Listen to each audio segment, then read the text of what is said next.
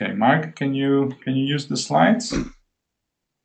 Absolutely. So thank you very much, Christiana. So let's hopefully uh, see if I can get this to work. So what we I thought I'd do is to basically start off with the background to cloud computing, uh, just starting to step back a bit and just remind ourselves that we're obviously now in the year 2016 and that um, muted.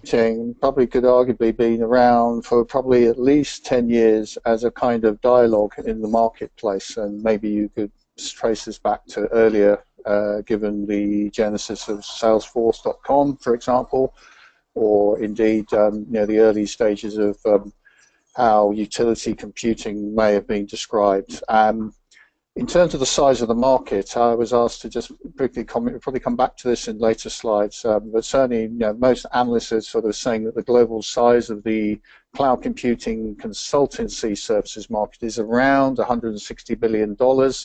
Uh, I think for next year, uh, um, I was advised it probably might grow to about 200 billion. It is a significant market, and that's just the consulting service. If you look at one of the one of the cloud vendors, and, and I'm not saying that this is necessarily um, saying that this is just for this. You know, Amazon Cloud, which is well known as a as a, a major major cloud provider in the public cloud, particularly. Um, they last quarter in Q4 2015 did uh, 2.8 billion dollars. So they're basically turning about eight billion dollars a year. So this is Amazon alone, and then of course there are many many other technologies out in the cloud that we're going to just briefly talk about. So it's significant. I mean, if you look at the typical business model, um, most industry experts say that probably about 40, 30 to 40% of a business IT operation can certainly move into a cloud environment, whether public, private, or hybrid. Um, typically, uh, this could be moved up to 50 to 60% of most business processes could be operating in some kind of cloud platform. So the concept of that, whether you purchase the cloud as a service or you're architecting the cloud, the choice of make or buy or reuse um, are significantly uh, within the, the major uh, strategy of, uh, of IT, whether you're a small company or a medium-sized company or a large company. So cloud, clearly the, what we're talking about today is about cloud architecture. It is a significant uh, part of a IT strategy in any organization that, that we, we talk about. If we uh, just briefly talk about um, questions, please ask questions. Just put them in comments if you if you want to ask a question. Please do. Um, we're going to have a Q and A at the end, as, as, as we've been told. But please do ask. Um, you know, hopefully, I'll try and keep the flow going, um, but, and keep it a bit bouncy and interesting because we've got to go for quite a while. But I'm going to take you through the philosophy of the cloud, what's the point of cloud computing, then as we say, we'll walk through some of the aspects of the modules of what we're actually teaching in the cloud certification course. And then finally, we'll go through um, you know some specific details of the curriculum, so you kind of get a, feel for what what the professional cloud solutions architecture certificate will, will give you and how it adds to your career, hopefully. So one of the things I'd, I'd, like to remind ourselves with cloud computing on this slide is it really is, you know, what is cloud computing? Essentially, which which really made me first aware of what cloud was. It's about elasticity. It's about being able to provision faster than you would normally do if you were um, basically having to go and buy hardware or software and be able to provision the service. And um, one of the things that we've um, find with cloud computing, with elasticity models, um, is that that is a major feature. And so we're going from maybe uh, weeks or even months even down to potentially minutes or hours or, or seconds in some cases in being able to provision IT resources.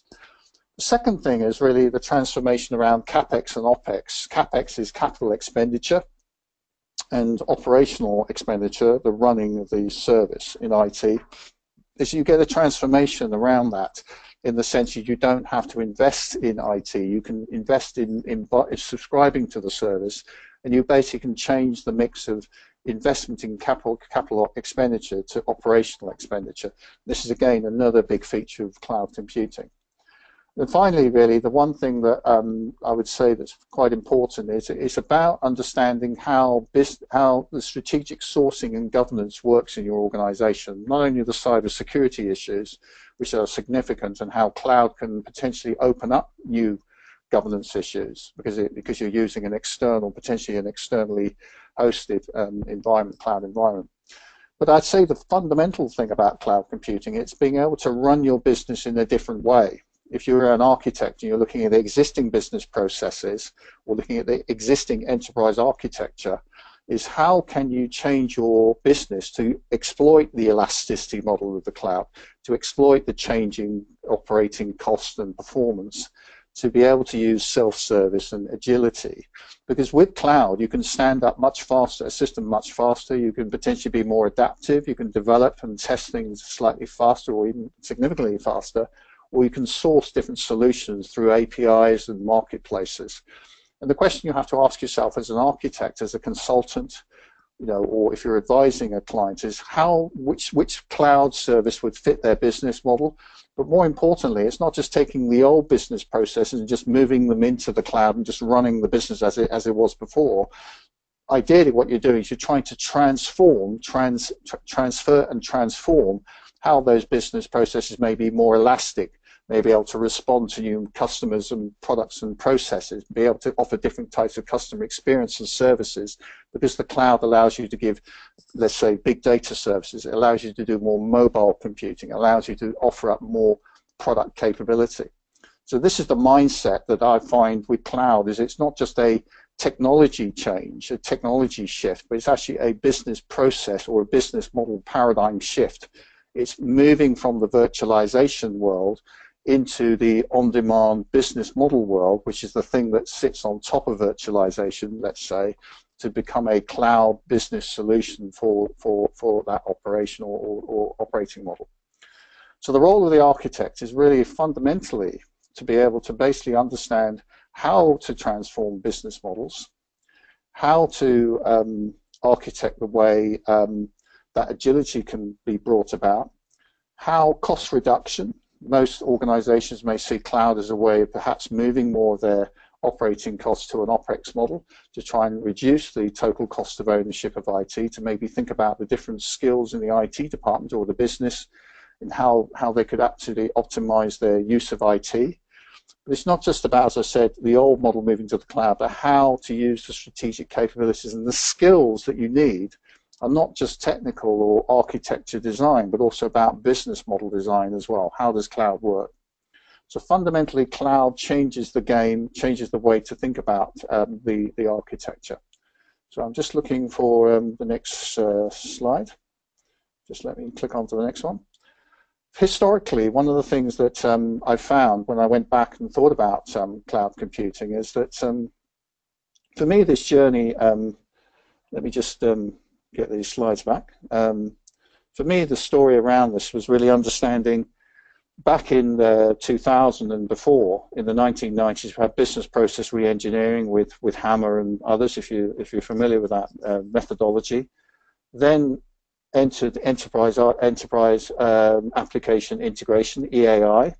And then we had the early utility computing models back in the beginning of the 2000s, the first decade of the, of the, of the second millennium an ASP, application service um, providers, was, was the vogue then. Then around 2003, we started to see the story of Web 2.0 becoming uh, people aware of web, web services. and how would you create a um, web service exchange between websites? And then, of course, the explosion of SOA, service-oriented architecture, where the abstraction of of modularity, if you will, between the physical architecture and the logical architecture was separated out into a service contract, into a service catalog. And that was the genesis of SOA, and that was the genius, as I used to call it, and still do, of SOA, was the separation of concerns of physical and logical. But the challenge with all of that was really around uh, being able to have the dynamic runtime binding, to use the architecture phrase, where the architecture was responsive enough to actually be able to deliver those services on demand. And that's the big difference between uh, SOA and cloud, was cloud introduced this idea of being able to put a business model on top of SOA, if you will, and SOA and cloud are synergistic, they do work together. The, the principles of SOA are, are principles of a deployment model, if you will, or a design model of cloud.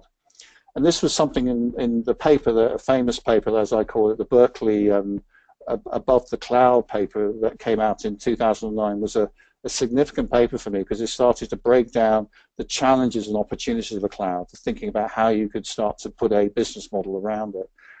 Another paper in 2009 that I particularly like to quote is this idea of multiplicity. What we mean by that is being able to clone your operating uh, container, if you will, your virtual container, in a and put it into a hosted environment, and then you could replicate that and move it around, and you could start to clone that and then run it on a mobile device. And So the concept started to really grow in terms of modularity, moving uh, uh, virtual containers around and starting to become more like a cloud thinking process around 2009, 2010. Obviously, the NIST, which is the American uh, National Institute for Standards, um, around 2011 and 12 started to develop um, the uh, reference architecture that became the def sort of de facto cloud computing reference model that was published around 2012 um, that included um, a number of famous, as I call it, um, statements around uh, uh, software as a service, platform as a service, and into, into uh, infrastructure as a service, and obviously public, private, community, and hybrid cloud, and obviously the five characteristics of cloud computing, which was, um, if I just move this particular thing out of the way, it was on-demand access, uh, measured service, broad uh, network access, resource pooling, and rapid elastic environments. So the foundations were there, and then it wasn't until around 2014 when ISO, the international standards for IT, then based on the work by NIST and other organizations and standards body, then produced the ISO 17788 um, standard. Also, the Institute for Telecoms uh, published uh, the same paper endorsing it, was the Cloud Computing's Reference Architecture and Vocabulary that came out in 2014. So it became a recognized uh, mainstream reference architecture. So that's a kind of a quick 101 on the history. So we are now two years beyond that point and now starting to think about what is cloud computing really going to? Where is it growing? We've now got the reference architecture standards. We're starting to see more adoption maturing in the organizations and across all industry sectors. And I use this diagram as part of the introduction. We're now moving into the exabyte era. Um, exabyte eras, I think, in terms of internet traffic, is around uh, you know, one exabyte uh, per month. Um, I think the forecast is going up to 40 to, or to 100 uh, exabytes uh, by the by the end of this year. And really, the volume of data, the the ability to connect devices and to be able to create lots of different um, services around the internet, uh, the network, uh, the devices, the data, joining those all up, and the ability of cloud to provide computation on demand to provide storage on demand, to connect up your devices, which are not just mobile devices, tablets, but also now the Internet of Things and uh, big data and analytics and so on and so on and so forth. So the narrative of um, the cloud computing story hasn't stopped. It clearly is going on into the into the future. We're now moving into a much larger scaling up of social media websites, much larger scaling up of how this is affecting uh, jobs, skills, the way we design customer experience, how we change our infrastructure and, and processes. So it's now mature, it's really bringing together lots of things. Um, as I said, the SPI model that was uh, invented, if you will, by uh, the NIST um, is now really extending out. You just look at um, microservice you can get on Dropbox, or you look at the one terabyte um, storage that you can get with the Microsoft Cloud for commodity services lots and lots of vendors are now moving into the space of being able to create infrastructure as a service. It's almost like a commodity now. And then you have extremes of that where you need to have very high uh, data storage, which could be for high performance computing or big data warehousing. Then you look at PaaS, you look at DevOps, this continuous development. If you look at most software um, development houses now, they look at agile computing, agile development lifecycle. DevOps of joining up the development with the production, linking it together is fundamental in the way IT operates today. Software as a service, commodity, dev, custom, the idea of modularity, it's now quite normal to go and look at an application store or to look at a open source uh, DevOps environment and start to think about what sort of software could I use from different software as a service providers. And again, if you look at large enterprise architecture platforms, or you look at CRM or product lifecycle management, or all of the major uh, business process categories, most of these now have a large software as a service catalog, if you will, of functionality and vendors and solutions. So the role of the architect is really trying to get their, your head around all of that and to bring it all together. And lots of new models. I mean, it's, it didn't just end in 2014. It's not just IaaS, PaaS, and SaaS. Even if you look at the ISO model, reference model, they're now talking about uh, mobile cloud. So how do you get your mobile uh, connecting with, with cloud services? If you look at speech translation, some of you may be listening to this particular talk on your mobile phones, and you'll be using, say, voice over the internet. I'm using VoIP services right now. So this is a mobile service connecting to a cloud service, if you will. Content delivery, you look at Netflix, you look at streaming of your newspapers or your video content. It's, it's very widespread. A really big significant one, of course, is software-defined network. The idea of uh, the earlier genesis of that was uh, MPLS, which is um, the ability to take your uh, telecoms infrastructure network, your LAN, your WAN, and your wireless and other uh, corporate infrastructure of networks, and to basically virtualize those and offer them as a cloud service, as a network as a service. And it's not just the software-defined network, it's now software-defined data centers even, where it all becomes a kind of modular on-demand cloud architecture principle. So big data, appliances, machine-to-machine -machine learning, uh, high-performance computing, lots of other workloads, as we call them, workloads are now starting to evolve beyond just the IaaS, PaaS, and SaaS. So again, as the architecture role and what we cover in the um, in the course, in the module, uh, sorry, the, the set of modules with the professional cloud computing um, certification, is to think about all those different types of workloads, the vertical workloads, the horizontal workloads, as I, as I call them, and then how you bring those together and what type of workloads fit for the type of business solution or business problem that the, your, your customer or your business um, sponsor is looking for. What's happening now is uh, one of the professors at the university I'm a part-time was a really great quote that I like is he said that competition has gone to the ecosystem. And I said to him well what does that mean? He had a paper written about it a, a couple of years ago. And he said what's happening is that when vendors are choosing or when IT architects or business people are choosing you're choosing between an Android uh, ecosystem, an Android store or a, I, uh, an Apple iOS store, for example, the analogy there is you're kind of joining the club of, of apps that, are available in a particular community, online community. And you do this with social media, you do this with, with content or books or services from a marketplace. And the idea is that you're almost competing with, with collections of, of cloud-based hosted services now. It's not just individual services. You now have this expectation as a consumer, as an enterprise um, user of IT services, that you have a, almost like a smorgasbord, a collection of services to, to, to choose from. This is again the power of the ecosystem.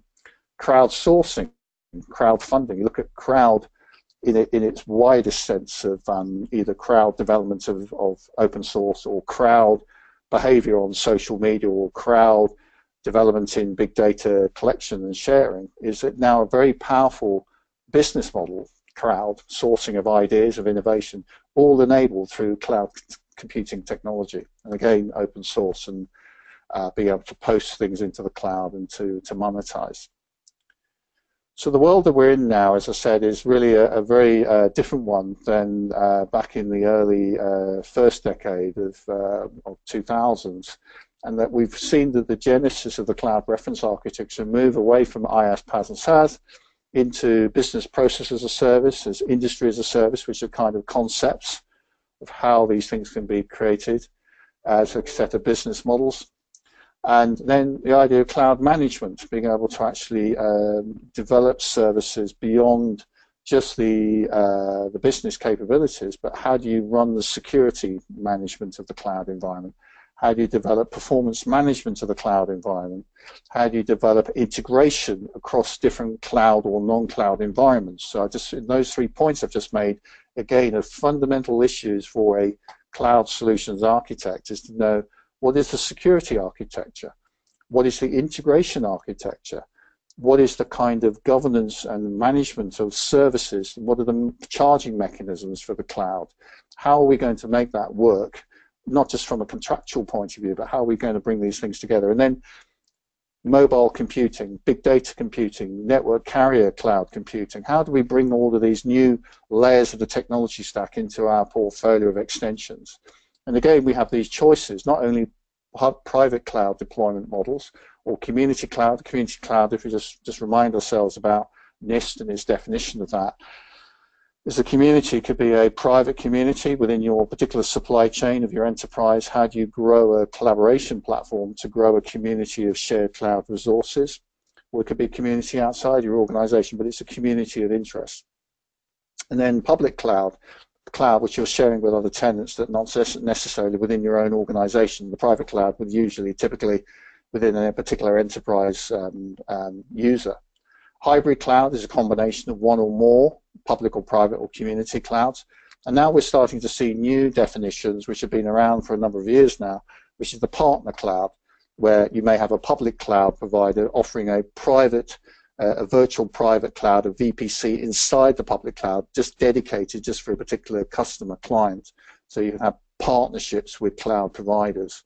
And then a broker cloud, or an orchestrator, if you will, where um, you're using a cloud broker to orchestrate connections between different types of cloud resources. And again, this is a concept which is, is, is appealing to the system integration services of how do you broker these things and being able to swap in and swap out different types of cloud workloads and different types of architecture solutions. So very interesting, and uh, I'd say this is part of the language of what the solution architect needs to understand. And um, part of the uh, the story that we, we we're trying to grow in this um, in this uh, solution architecture model. Uh, just trying to move to the next slide, which is here. Um, we need to think about really the journey that we need to take uh, the business on, and um, what we have here is again this idea on this slide is is knowing where on-premise or off-premise needs to work. So the role to say what the architect is trying to do is to look at the to be the owner of the architecture design principles to understand where we're going to put the cloud footprint. This particular slide is um, is um, starting to, uh, let's see, move on to the next one, is then uh, how do we put cloud management into that environment? How do we migrate from virtualized hosting environments? And how do we scale up? What's the sort of continuous um, architecture do we need to put in place how do we select which particular cloud solution uh, architecture do we need to put in place? So this is just the initial concepts that I'm showing you here, but you, you start to hopefully get the idea that we're moving away from technical services but into a combination of technical and business services to meet particular business requirements. So there's lots and lots of cloud services out there, and this is just my one of my favorite slides is really just showing that there's lots and lots of uh, four-letter or five-letter acronyms, as we say, it's not just the old IaaS, PaaS, and SaaS, we've got data as a service, desktop as a service, or content delivery as a service. We've got compliance as a service, carrier as a service.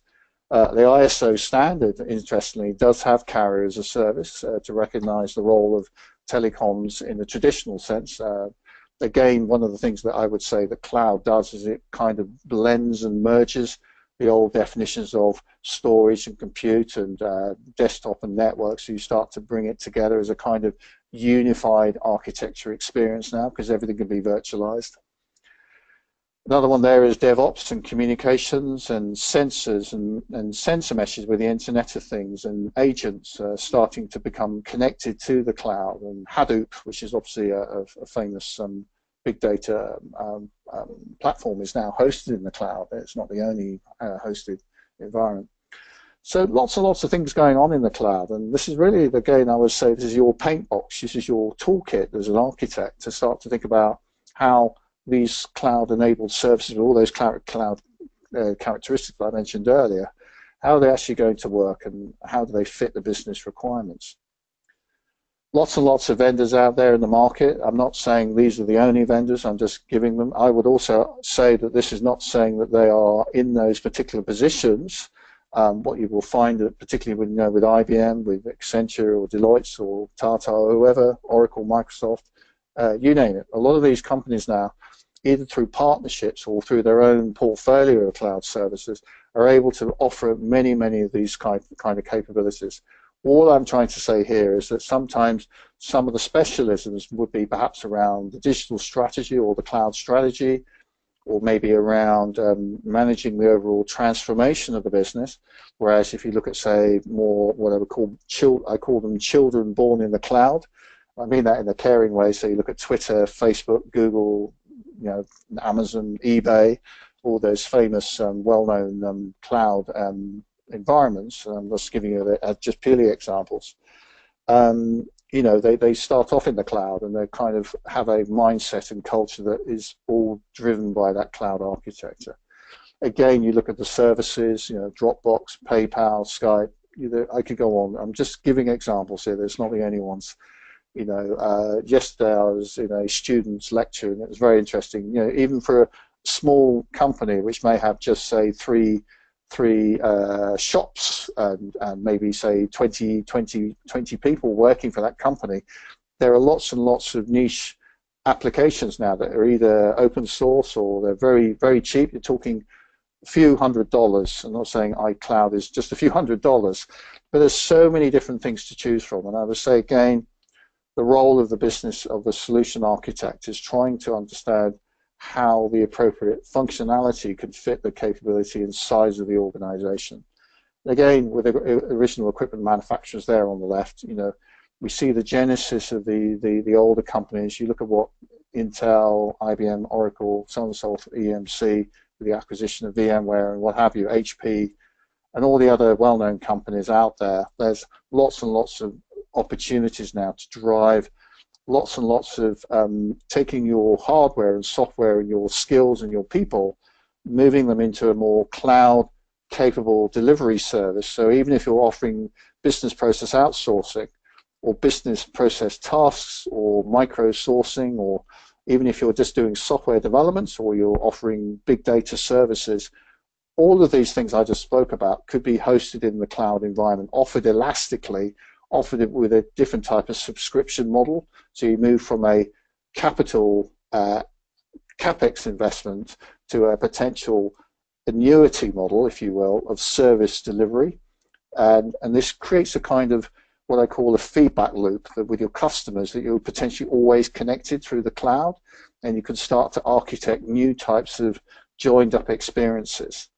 And I find that quite interesting because it's not like a project delivery waterfall cycle. We're now in the era of lean, we're in the era of cost reduction, we're in the era of not only Six Sigma, which is operating, opportun uh, developing opportunities for cost reduction and efficiencies, but we're also in the era of, of agility, agile, uh, you know, Scrum and things like that. And all of these Agile and Scrum. You know, I go back to the early 2000s. We talk about utility computing and SOA. I couldn't do that because the architecture just wasn't the same. Didn't have the agility to be able to to be on-demand self-service. Now we have a catch-up, if you, of IT in the cloud, being able to be elastic and responsive to the business in a way that it was intended to do. So you have the agile business development cycle of multiple iterative development and delivery cycles and a agile cloud environment that can be responsive in the same speed and agility. So the two have come together. Finally, finally in 2016 and beyond, we're now connected. And what I'm expecting to see in the future, which we'll talk about later, is where is this all leading to with the ecosystem development. So it's really down to creativity, down to having the skills in the organization, not only from your vendors, but also if you, as a, as a, as a, you know, the reason you're hopefully listening to this is the sort of skills you're looking for and to develop is to be able to start to define requirements with that cloud philosophy, with that cloud mindset. And this is just a slide briefly that is trying to pitch some of the questions you might want to think about. You know, how do I need to communicate to stakeholders and investors what the value of cloud is? How do I develop a business case? How do I manage the vendor selection? How do I oversee the quality and governance to the reference model?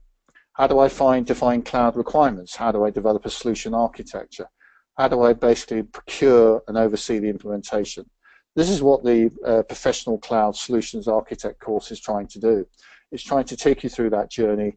It's trying to split up the business artifacts for the IT artifacts. Just to be clear what an artifact is, it's really a specification, to put it simply, or a set of design principles or um, or um, specifications, as I said, which help you define what the cloud is. So again, if we just build that out for a minute, from a technology point of view, it's about the demand and supply because you can buy IT on demand or you can source it or manage it to your tenants, if you will. You can start to plan your supply and demand and fine tune what you're paying for. So you're only buying and subscribing to what you need, not having a, an overcapacity or undercapacity issue, hopefully.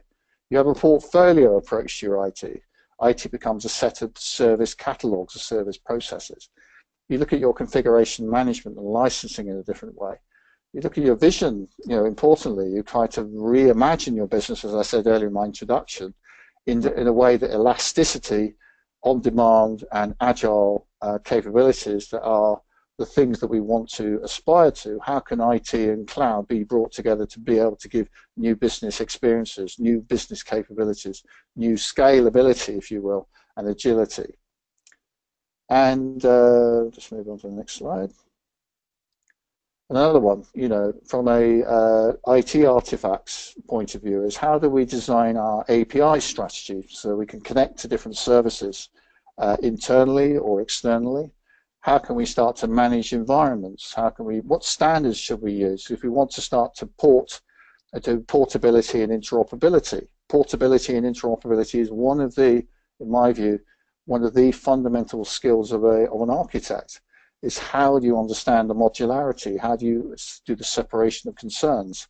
How do you think about the migration and architecture of, of the cloud uh, from different from one system to another? How can you do Another one is interesting is the terms and conditions, the licensing. So it's not just a technical skill set, but what are the kind of commercial uh, technical questions you need to ask, and the security and, and, ex, and you know, uh, backup and recovery, and the service level agreements that you want to put in place to maintain the and preserve the quality of, of service and, and reliability and security of the cloud environment. These are all questions that the, the architect is um, uniquely placed, I would argue, to bring together. And this is just a diagram which I quite like around showing where the skills have shifted. What we find is that if you're using external cloud providers, we're starting to start to consider how do we need to connect to um, cloud providers who are going to provide some of the services that you may have done originally in-house. And it's not to kind of ignore or just delegate the service to an external provider, but be aware that maybe internally you need to have more monitoring systems in place to start to manage the cloud environment uh, service levels as a black box, if you will. And then internally, what new skills do I need? If I'm starting to use a cloud provider and I'm a customer, I'm, a, I'm an architect inside a business who's consuming the cloud from an external cloud provider, what type of responses and um, and monitoring do I need to make sure that that external cloud provider is providing the kind of service that they were offering and committing to deliver as part of their service level agreement. So lots of specifications need to be thought about. It's it's kind of understanding. Uh, I I just use four key documents. It's by no means the only four documents that, that should be developed, but I'm just giving you a flavour of the the skills that we try to develop on the certification course is we need to think about the top left-hand corner, the purchase and purchase and subscription models. Yeah, what type of subscription models are available today? What this impacts the service level agreements. Then the user experience, um, because of the genesis now, we're now in what we call the digital era. Uh, you know, is cloud now called digital, which is an interesting debate we could have is that we're now thinking about how does cloud enable you to develop um, end user experience? You know, how do we develop customer experience using cloud technology? And then on the blue, uh, the green box rather, um, the business technology cloud specification is what is the technical reference architecture from a business point of view for the cloud? How do you design your solution reference architecture? And we have that in the course.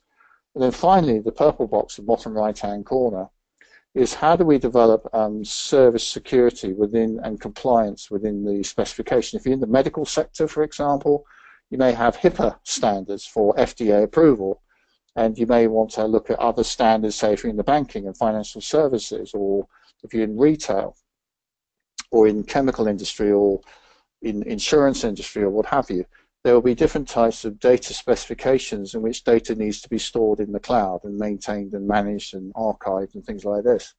These again all specifications that need to serve. So let's just um, step back a minute and think about really the things that uh, a solution architect needs to think about.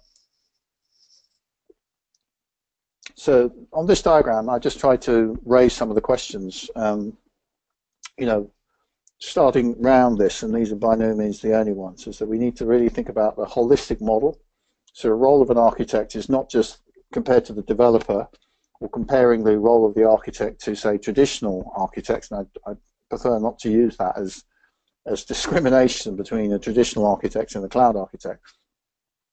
I'm just saying that with a cloud architecture approach is really thinking about the device connectivity thinking what types of controls do we need for, for on-demand services, the sort of service catalog, or level of security, because we start to think about how do we need to do encryption or identity management, but from a external to internal cloud uh, connection point of view. What type of channels do we want to use to consume the cloud? Because today we often have this phrase called um, um, you know, multi-channel. Uh, so it could be on a tablet, a mobile phone, it could be BYOD, bring your own device. How does that connect? And then do we want to connect to certain uh, social media channels? Um, you know, maybe we need to have some controls about what people are putting up on social media. You know, is it is it going to impact your brand and be misleading with, with the way that some of these social media may be, may be used? What level of, of tenancy isolation do we want to have certain types of our data which is very secure and private. It could be medical data, it could be personal records, it could be you know, uh, national security records. We may want to keep those in a private cloud or even not on a cloud. We may want it in a secure uh, physical environment, which is under tight security because it's a secure uh, data managed environment. We don't want to have that in a shared environment. What level of partitioning and then what kind of system integration do we want? How do we join things together with APIs, integration? What systems need to be connected? And how do we bring that to work in one cloud or maybe have multiple clouds we want to connect? So really, um, let me just um, move to here. So a number of the questions you may need to think about is how do I develop um, the, uh, the critical questions so around standards, around legal contract requirements. You know, if you're subscribing to a service, there may be a one-year subscription period, or you may subscribe by month, or you may be subscribing by the number of uh, concurrent users that can use that cloud service. So there's lots of questions around subscription models. Again, transition tools. What tools do the cloud provider have in terms of migrating your old data or your old system into this new cloud environment, or moving from one cloud environment to a new cloud environment? You know, what what are the critical architecture decisions? What are the capabilities and features do you need to think about? Steps in that journey might be the device strategy. It doesn't necessarily have to be in this sequence from left to right. It could be a number of these. Often with cloud is thinking about what type of user experience do you want to ge generate with your cloud architecture. Where is the user going to be using the cloud? What are the touch points? What are the type of devices do we need to plug into this? What is the sort of network architecture coverage do we need? Do we have the right performance bandwidth to pass the type of data volumes back and forth from the device to the service, uh, to the hosting environment to the cloud? Front-end cloud strategy, who owns the catalogs? Do we want a shared catalog? Do you want to have a public catalog of services to our consumers or our partners in, in the vendor's supply chain? What type of marketplace do we want to use? Do we want to use third-party marketplaces? Do we want to build our own marketplace of B2B or B2C or portals um, or employee portals for collaboration. What type of back-end integration do we want? How do we want to manage our APIs, our data synchronization, uh, our hosting options? Where do we want to have this data? Where do we need to have it located? Does it need to be on our country's sovereignty? Or do we want it to be federated across multiple countries where we have different factories or different shops or different business operations that need to share or collaborate or, or control access to common data. So these things are all part of the cloud and all part of the architecture of a modern cloud solution, which um, the, the architect is uniquely placed to, to start to think about. Again, the architect needs to start thinking about the kind of design architectures. You know, what are these sort of components? This is just a concept diagram here, but you get the idea, hopefully, in terms of the cloud platforms, the integration.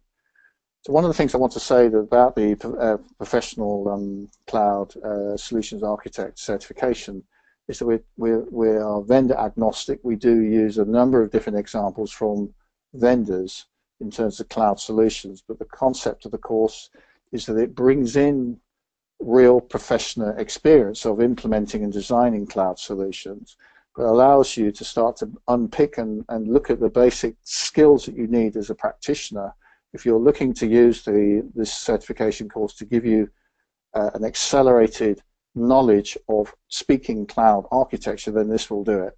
It will get you to start to think about the language of cloud architecture, like these boxes here. It will get you to start to break that down into the front-end cloud platform. What are the kind of mobile services you're looking to deliver to your customers or your end users? It will start to get you to think about the type of marketplaces and um, services We'll then start to create um, the sort of integration. What type of development environment? Do you just want to buy a service completely uh, uh, uh, configurable with no developments? Might be one thing. Or you may say, well, we need to do a lot of customization development, so we need to look at our PaaS environment, our platform as a service, our DevOps environment, if you will. And then the back end is do you want to host this on your own premises or off premises? Do you want to have it in a shared or public cloud or or a hybrid cloud or on-premise and off-premise. Again, what are the management systems around this? As I said earlier, the, the cloud management could be the self-service, the metering and billing, the virtualization if you're migrating from virtualization to the cloud and back again. What security management tools do you need in place? What performance optimization tools? In the course, we cover all these aspects of thinking through, thinking through end to end what makes a professional cloud solution architecture work. And this is what this is about. And then again, you know, what is the role of the solution provider in that? Do they do all of it or part of it? What does a broker do? What's the difference between a, a broker and a, and a, and a, a hoster? I mean, how do they? What are the differences? We talk about that in the course.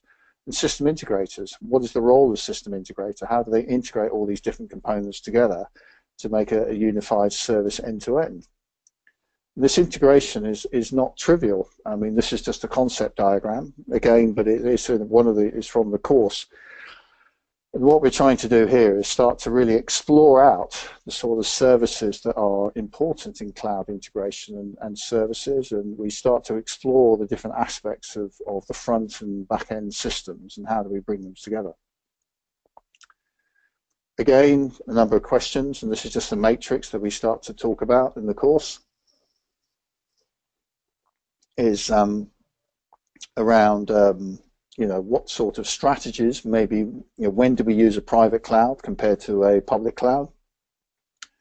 When do we use um, platform as a service for um, you know for open source compared to maybe using uh, a set of functionality that's developed by a by the software as a service company itself? And lots of questions. So um, in terms of um, where this is all going, it's really, really trying to understand um, a lot of these questions, and I'm just trying to move on to the next slide. If it'll let me, uh, which hopefully it will do. Thank you. Um, and then, of course, the other, other types of workloads. We talk about mobility, big data, integration, and uh, content delivery. And this is, again, you know, do we want to do it over the mobile device, or do we want to have a, a laptop solution, or do we want to have a you know, what type of big data workflows are we are we developing? And um, and again, uh, this is just illustrative of the type of use cases that we explore in the uh, um, you know, the service uh, levels of the cloud and where the modern cloud of 2016 and beyond we're starting to really try to understand the role of these new um, mobile services, integration services, and big data services. So what I'd like to do now is just um, stop a second, but to to start to I've, what I've done in that last um, sec segment and uh, is just taking you through really uh, just the cloud and the kind of kind of ideas that we teach on the course. What I'd like to do now is just talk a little bit about what is the actual certification itself. So if you choose to go on or teach, if you want to deliver this uh, certification course, or if you want to actually sit the course and um, use it as a kind of um, baseline to your building your skills as an architect for the cloud services. What this um, course does is it's intended to help you, it's designed to be able to give you um, the language, the practitioner language of cloud computing. So it's not a technology uh, course, it's not teaching you specific OpenStack technologies or, or Docker Docker microcontainer strategies. It's not a detailed technical architecture course. This is a business systems architecture course that teaches you the language and vocabulary of cloud computing. It's designed to take people who have, let's say, complementary skills in technology, design, application design, system architects, or or consultants, and enable them, and then enable them to, to sort of in a short space of time of a few days of when we run this course to allow them to accelerate quickly with the type of language and skills that they need to, to start to design and think about cloud as a business solution strategy, as a business solution architecture. So what we do in this course is to um, start to, um, if I can get to the next slide, is to go through a series of modules. We go through the history, it's got um, I think 12 modules or 11 modules, 12 modules, um, can't quite remember the number. Uh, over, I think it's usually three days, um, we will go through the history of cloud computing just to baseline where we are. We then talk about the different types of make, buy, and rent models of, of how how cloud can change the dynamic of capex and opex purchasing and the agility of the business. Module three, we we talk about the all of the essential technology engineering vocabulary of cloud computing. So we cover really the whole technology stack of, of cloud. We look at the different aspects of that. So it's not a, as I said, a deep technical uh, deep dive into the architecture of cloud because technology deployment models are different for, for different vendors. It's looking at the more the logical and physical technology components that make up the cloud environment. And then in module four and five and six, we then develop um, really the layers of the solution architecture. We, we go through in some detail in Module 4 the different types of reference architectures. As an enterprise solution uh, cloud architect, you are expected, I would say, to understand different reference architectures for cloud, for data, for security, and how do you bring those together in your architecture model. We then look at standards within that as well, so you get a, a, a, refresher and a, a, vocabulary of what standards are important in cloud. Then we talk about the service lifecycle. We start to break that down into different types of life cycles in Module 5. In Module 6, we look at the business transformation, so it's not just the Module 5 IT transformation life cycle, but also about the business transformation cycle itself. So we talk about practitioner concerns and issues as a, a business solutions, uh, sorry, a cloud solutions architect, is how do you start to think about the business transformation to the cloud? Um, module 8 and 9 then starts to, um, uh, well, module, module 8 and module 7, I should say, really uh, breaks down the setting up of the cloud environment. So module 8 is, uh, 7, sorry, module 8 rather on the slide there is about setting up a cloud environment from a provider perspective, so a cloud provider cloud environment, what are the standards and architecture components we would expect to see there? In module 7, previously we would talk about setting up the cloud environment from the consumer side, the customer consumer side. Module uh, 9 is about, then goes into the cloud ecosystem, how do you start to think about the broad picture. And then finally with module 11 and 10, as we then talk about detailed design and also build, developing your business case your return on investment case and your total cost of ownership for a cloud business solution. So we teach you how to put together a business case for a cloud. So overall, the exam at the end of it is uh, we have a, an exam. Uh, all through the modules, by the way, you get practice questions of the exam papers. So it's um, we spend a lot of time rehearsing and reinforcing the learning. So hopefully it's a it's a pleasant experience. And then what we do is we then run a, a multiple choice question exam, which uh, you see there is 75 minutes long. And um, then the idea here is you can then uh, get a certification passing the exam, you get a certificate with that.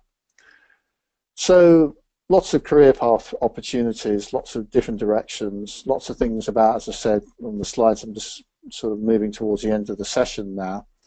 In the last part of the, the section is really talking about understanding how to set up environments.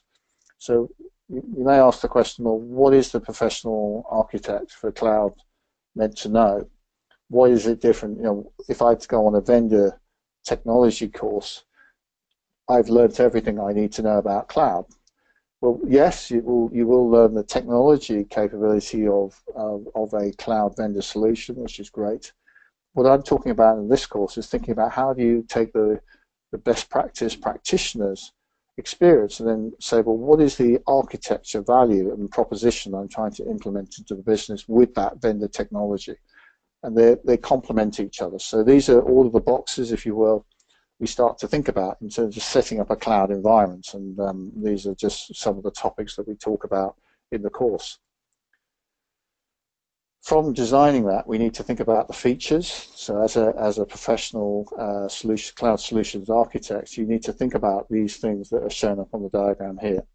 How do we start to break that down? How do we start to put in a robust managed cloud environment? What are the professional aspects of managing that cloud environment, and this is this is just again an example of that. Again, uh, one of my um, one of my important topics that I've used a lot in my career as a as a cloud architect over the years is this idea of demand and supply forecasting and planning. Because you're you're buying or consuming cloud as a service, what you need to do is to look at types of demand and then profile the demand. Is it going to be continuous demand? on step two? Is it going to be peaks and troughs? Is it just a one-off project cost? You know, like a, a, a spike, or it could be just a burst cloud, if you if you're familiar with the term. And then aggregating those demands, and then working out a capacity plan of what was your capacity of the cloud you, you need to plan for. What type of workloads do you need to plan for? Then from the consumer side is that, well, what's the consumer need? So you look at the, the first part is what type of catalog what sort of self-service interaction do they need? What sort of user interfaces do they want? How do they want to consume the cloud? Is it a tablet? Is it on your mobile? Or what type of security selection uh, requirements do they have? How do you take their data? Which location are they going to start to use the cloud? What sort of cyber security requirements do they need? And so as we go through this process, we need to start to think about how the demand and supply workloads match the particular deployments and, and, cloud service operations. So part of the central piece of this certification course is to start to get you to think about supply and demand matching. Now on virtual uh, virtualization management, you do cover workload design and management and selection. But what I'm talking about here is looking at it from a, a broad business requirements perspective. What type of business capability capacity do we need? what do we need to do to deliver that? Where, what type of cloud environments do we need to support that and to match that and make those decisions? We need to look at the business use cases. So these are blue boxes here on this slide. There are really lots and lots of different examples here. But what we have here is this ability to to really develop um, a number of things from continuous services that we might need. They're always up and ready, email and continuous service and uh, uh, storage and things like that, to maybe specific uh, modernization services to migrate old services to new. We may have um, spot services for project services that you just need to run for short days or, or a week or whatever.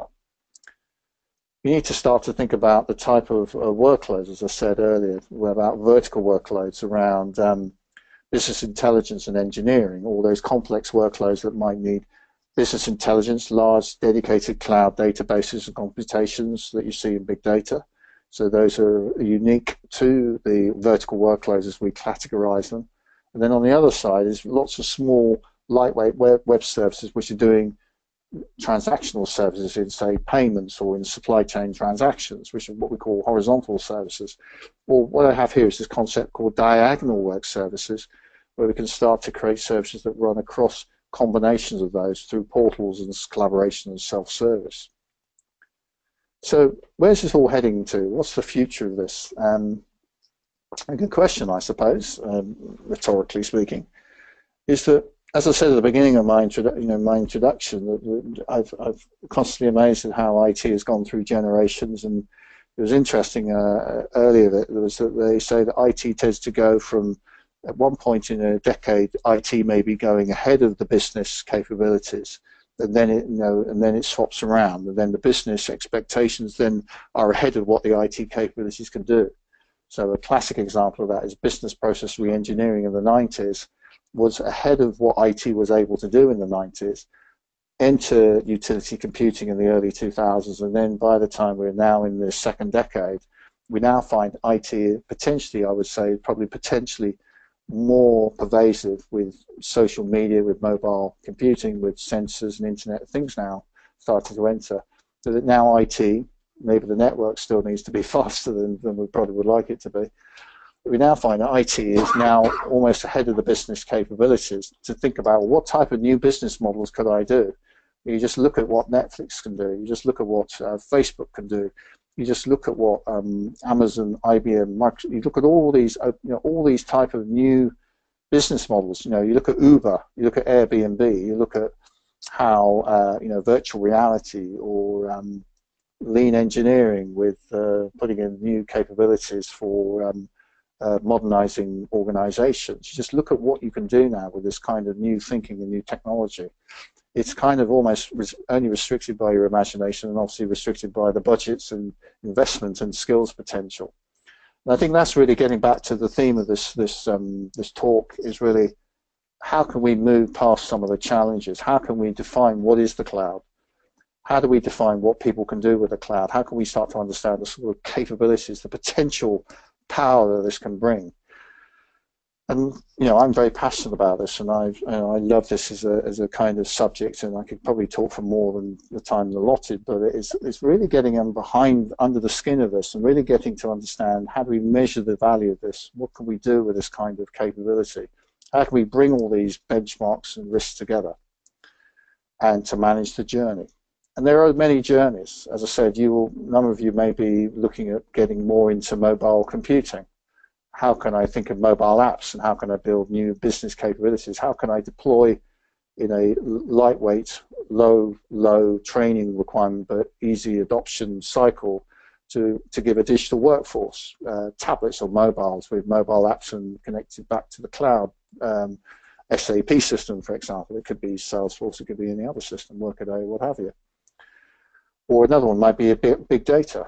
A lot of you probably will be working on already use of big data and thinking about how does that big data fit in the cloud. Well, you can use obviously cloud to host big data pilots, projects, and indeed many companies now in the cloud are, are streaming big data services, and you can start to analyze that and offer that as a service.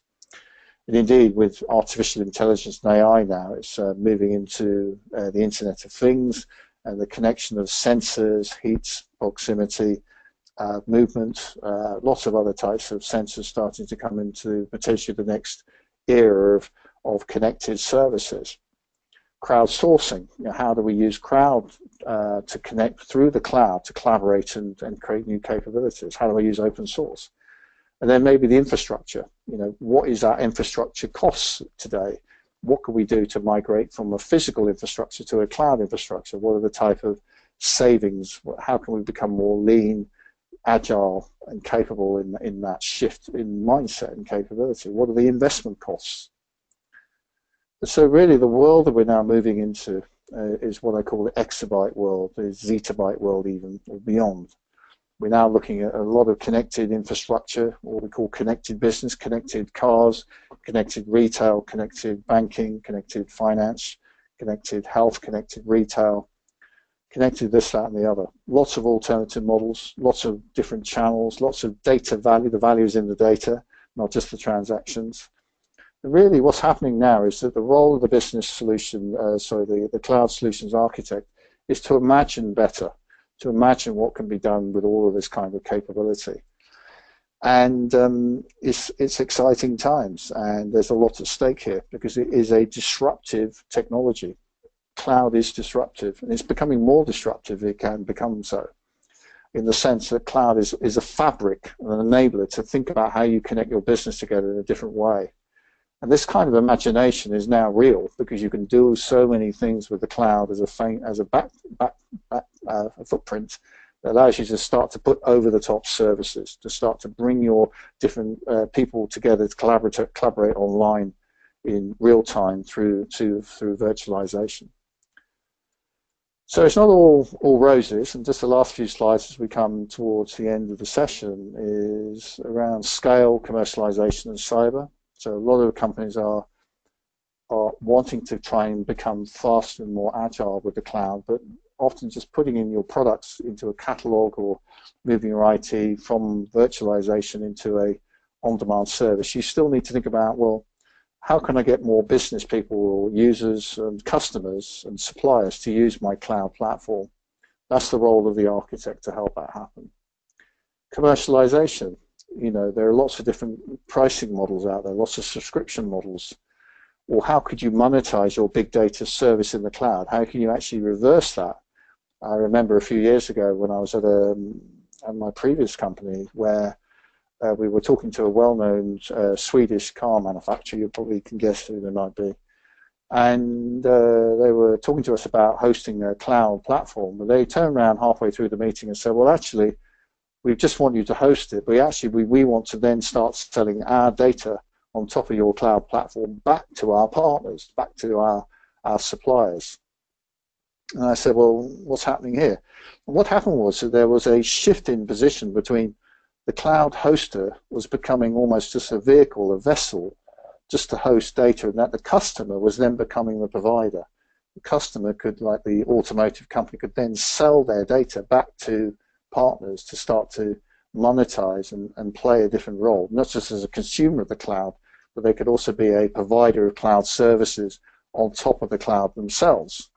And for me, that was a complete reverse of, of roles, and that the cloud enables you to think about business models that you could probably could only imagine before. The cloud is a platform that allows you to start to think about how you can operate your business in a different way to actually become more commercial, if you wish, or more collaborative.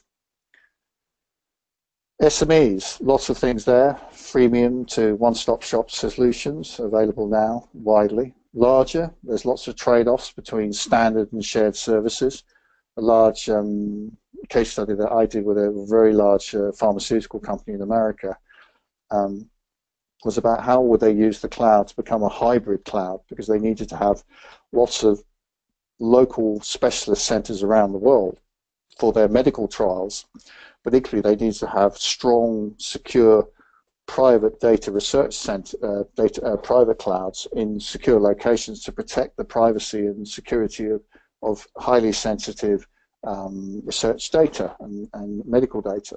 So they were implementing a kind of, um, if you will, um, structure around um, uh, hybrid public and private cloud. And again, lots of complex um, shared service models there.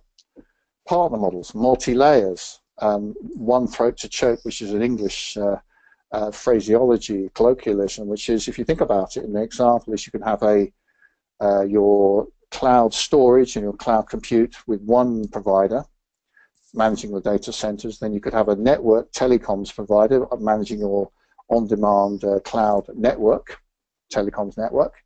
And then you could have application providers offering software as a service as a third type of cloud provider. And then you might have, say, mobile devices, uh, BYOD cloud providers as another layer on top of that. So what you have is a multi-layered cloud architecture with multiple partners. And then the question is, with a, with IT, with ITIL or software, you know, service um, help desk, is which particular vendor, if something goes wrong, do you have to talk to? Is it the network cloud provider? Is it the, the data center at the bottom, or is it actually the device cloud? So you have all these kind of very interesting new challenges about multiple cloud environments and how do you manage the service back to back between all of that. DDoS, cybersecurity, issues around that. You know, there's loads, loads and loads of things I, I regularly talk about in my blogs and, and various things. But again, another aspect, there is actually another uh, cloud uh, credentials council course, I think, uh, from memory, that, that covers cyber. But as an architect, we do need to cover this, and we do cover this on, on our, our, our particular module here uh, on our course thinking about how does cybersecurity change with cloud. So you think about backup and recovery. If you're moving that to a public cloud, are they doing backup and recovery because you've moved the responsibility to them, if you will? Do they do encryption standards? What encryption standards do we need? How do we do single sign-on? How do we do authentication? What type of security and reliability? What are the contracts in place? What about legal requirements around intellectual property? So as a, as a solution, cloud solution architect, while you're not a lawyer, you need to be able to ask those commercial and legal questions in order to have a robust enterprise solution architecture. So um, let me just get back to the slides if it will let me go on to the next one. Uh, it's just uh, just trying to move it on. If only it would move on. There it is. So we have lots and lots of new models coming out. So I was reminded uh, last week with a workshop I was running with a with a, a, financial services company that the disintermediation model, where they could disintermediate using the cloud, just move back to the previous slide, uh, was really around understanding how to orchestrate uh, services. But now they're realizing that the world is changing, that they need to resell their data, for example, and so they're now moving into becoming an aggregator of data. They become a data broker. A very interesting case uh, one of the university lectures that I saw recently in a London um, London Business School, was around the idea that when you look at a credit rating system or credit rating company, they're actually not just rating credits, they're actually looking at the way in which um, services need to be um, managed and delivered uh, through data. Again, the technology is changing. I won't go into too much detail here because we need to move on, but um, looking at micro containers, Docker, other micro clouds is potentially the future where this is all going, Internet of Things, machine learning and artificial intelligence, uh, unified computing, lots of other things we need to start to think about. How do we grow our ecosystem of services? Governance is changing. Um, just to summarize again, we've got lots of different types of capabilities we need to think about. You may be involved in innovation labs. How do we develop those?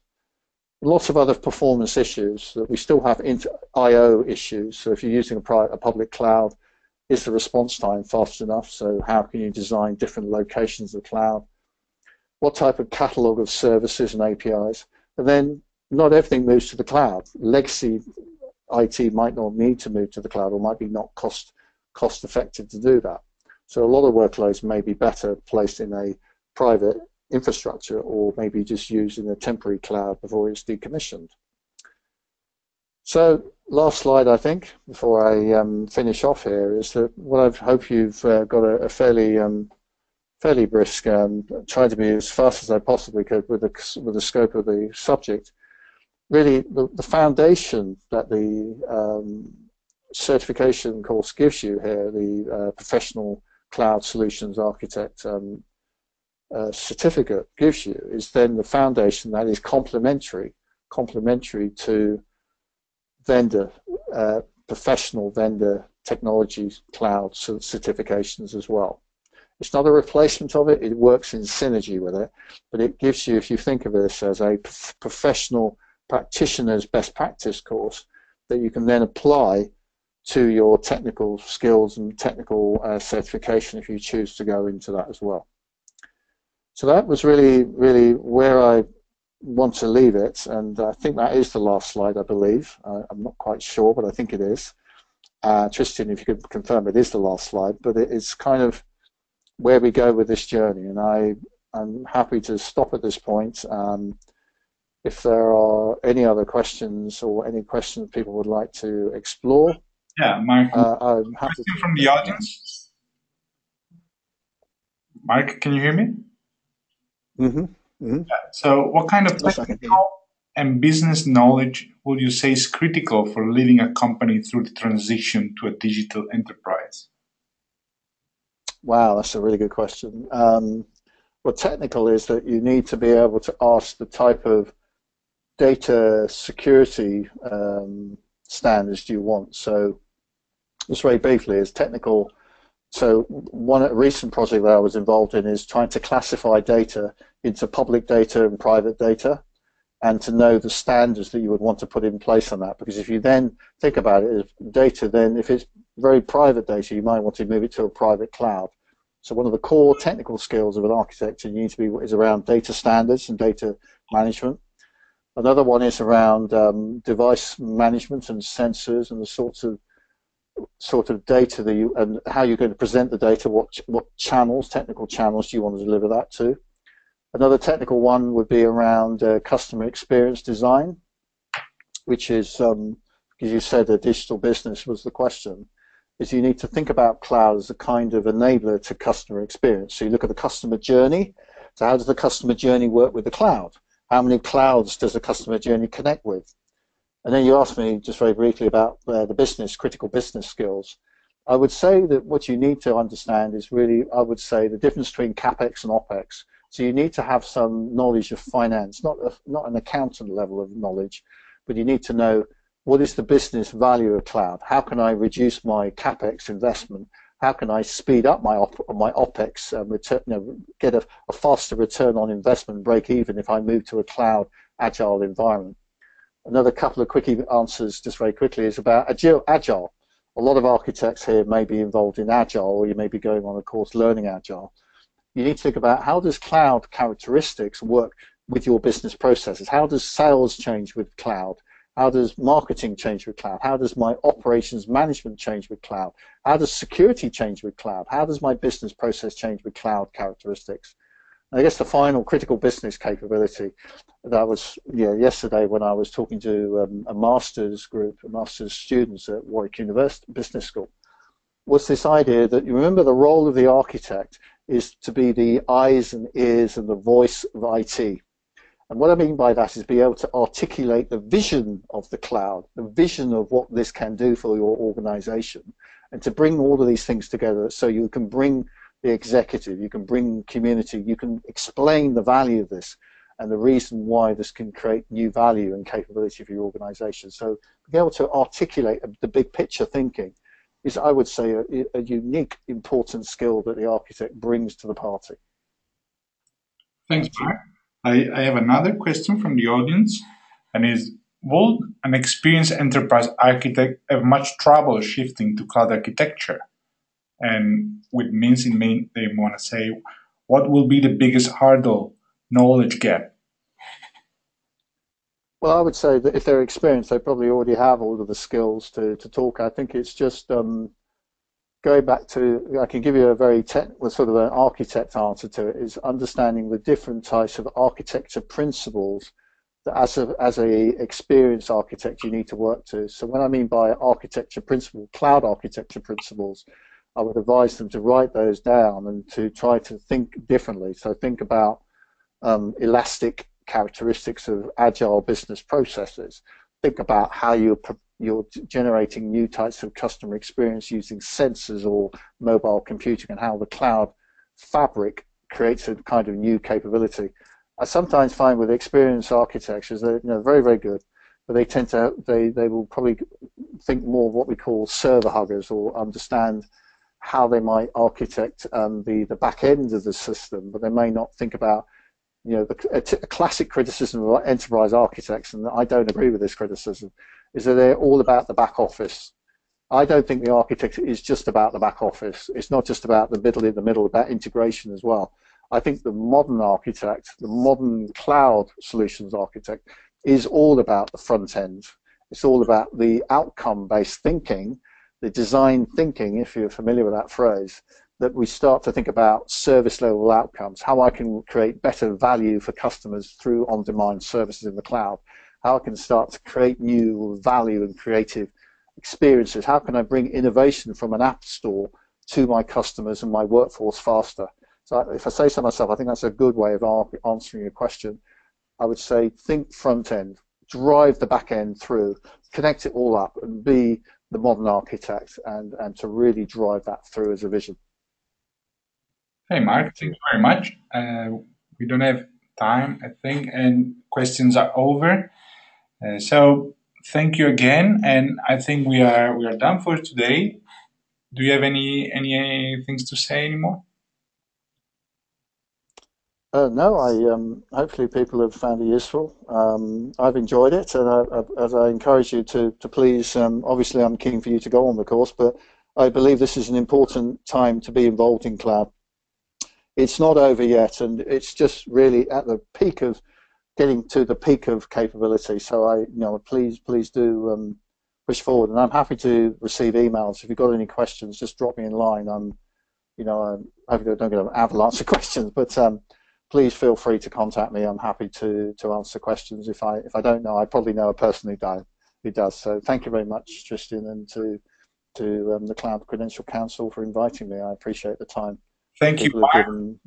Thank you, Mark, very much. And yeah, to the audience, please, if you have any question, just visit the cloudcredential.org website or contact the CCC or Mark Skilton on Twitter, and we will we will help you go through every doubt. Okay, I will close the webinar and to the next one. Bye bye.